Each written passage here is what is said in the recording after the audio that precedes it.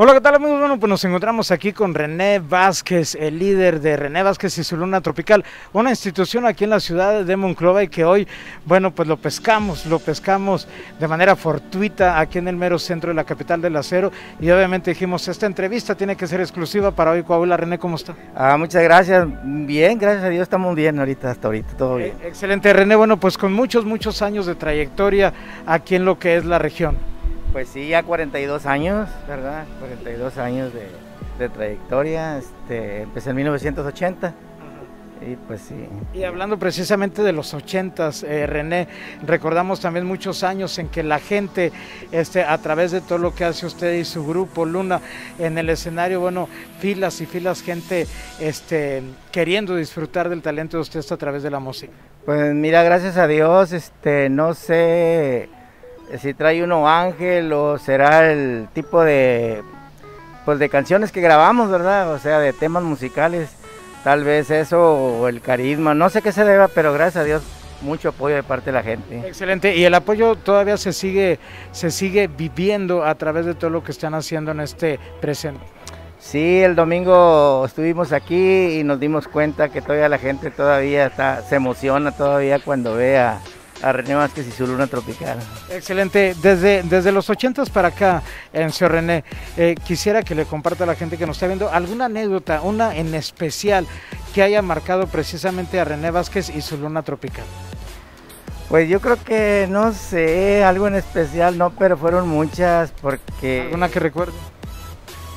Mm, pues los llenos totales de los bailes cuando me presentaba en la terraza bohemia, que daba, daba vuelta la, la fila hasta acá, hasta el Cine Reforma, hasta la WQ, daba vuelta a las filas para entrar, inclusive se quedaba gente afuera. Pues, Queriendo disfrutar de ustedes, obviamente. ¿Cómo, visualiza usted, René, con toda la experiencia que tiene, a cómo se vivía el ambiente de los bailes en aquellos años a cómo se vive ahora? Pues yo creo que había más libertad, había más confianza en salir la gente. Hoy como que la gente este, tiene un poco de temor Aparte, pues no sé, han cambiado mucho los, los, ritmos últimamente, y, pero cada quien tiene su, sus gustos, ¿verdad? ¿Qué opina usted de los ritmos nuevos? Por ejemplo, el reggaetón, eh, eso que le dicen perreo, todo eso. No, pues mis respetos, este, porque son, son estilos que tienen sus compañías disqueras que los promueven y, y pues mis respetos para todo tipo de música. Casi para finalizar, René, bueno, siguen presentándose. ¿Dónde van a estar próximamente para la gente que los está viendo? Eh, pues ahorita la próxima presentación es allá en, el disco planetario en, en Ciudad Frontera el 30 de abril.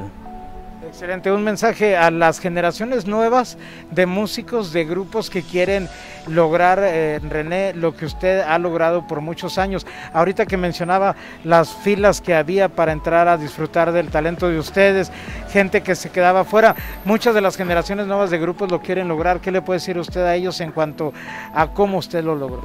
Pues yo creo que, que manteniéndose unidos, yo, yo les hago un una recomendación a todos los que andan en grupos musicales ahorita, que, que permanezcan unidos dentro de su grupo, que no se, muchos, este, eh, el grupo anda trabajando y creen que es por uno de ellos y casi por lo regular siempre es por toda la agrupación.